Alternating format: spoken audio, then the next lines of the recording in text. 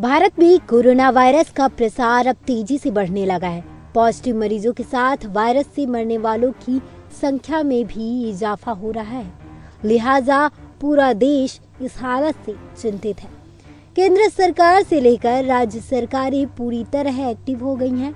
पूरे देश में जनता कर्फ्यू के बाद 22 राज्यों के 75 जिलों में लॉकडाउन लागू कर दिया गया है। ट्रेन, मेट्रो, बस सेवा जैसी सार्वजनिक ट्रांसपोर्ट सेवाएँ भी बंद कर दी गई हैं। सरकार की तरफ़ से ये सख्त कदम इसलिए उठाए गए हैं ताकि कोरोना वायरस के कम्युनिटी प्रसार को रोका जा सके। इस खतरे के मद्देनजर सरकार जनता को घर में बंद रखने के लगभग सभी कदम उठा चुकी है या उठा रही है। लेकिन अब आगे क्या? सरकार अब कोरोना वायरस से कैसे लड़ेगी?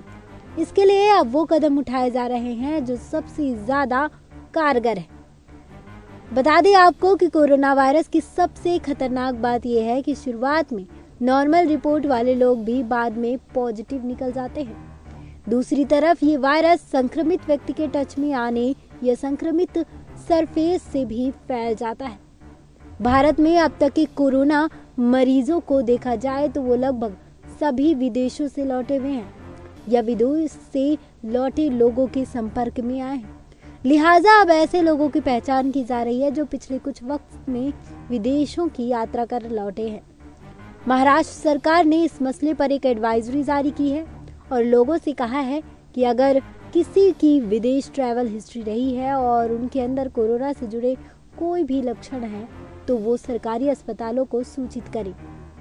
दिल्ली की केजरीवाल सरकार ने इससे एक कदम आगे बढ़ते हुए निर्णय लिया। केजरीवाल सरकार ने सभी जिलाधिकारियों को एक मार्च के बाद विदेश से लौटे यात्रियों की पहचान करने की ज़िम्मेदारी दी है। विदेश से लौटे ऐसे पैंतीस हज़ार लोगों की पहचान कर ली गई है। इसके बाद अब इन सभी लोगों को चौदह दिन तक निगरानी में रखा जाएगा। बता दें कि दिल्ली में कोरोना वायरस के अब तक 27 केस आए हैं। इनमें से इक्कीस मरीज़ ऐसे हैं जो विदेश से आए थे। दिल्ली में एक मौत भी हुई है। हालाँकि देश के बड़े हिस्से में लॉकडाउन लागू है और पीएम नरेंद्र मोदी ने सभी राज्य सरकारों से कहा है कि इसका सख्ती से पालन कराएँ। बावजूद इसके कुछ केस ऐसे भी हैं सामने आए हैं जिनमें क्वारंटाइन की मुहर वाले लोग भी सार्वजनिक जगहों पर देखे गए हैं।